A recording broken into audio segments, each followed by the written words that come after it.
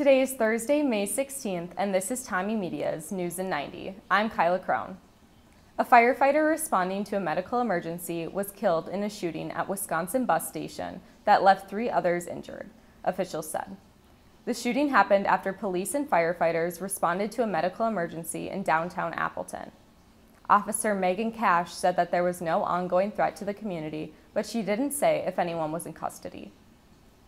Missouri's Republican led Senate has now passed a bill to ban abortions at eight weeks of pregnancy. Senators approved the legislation 24 to 10 early Thursday. It needs at least one more vote in approval in the GOP led House before it can go to Republican Governor Mike Parson, who voiced support on Wednesday. A building that was being refurbished collapsed Thursday in downtown Shanghai. At least nine people are trapped, while 11 have been pulled from the rubble. The city's rescue service said 24 emergency vehicles and more than 150 personnel responded to the emergency by early afternoon. 11 out of the 20 people buried in the collapse had been pulled from the rubble. Their conditions were not immediately known. For TommieMedia.com, I'm Kyla Krohn.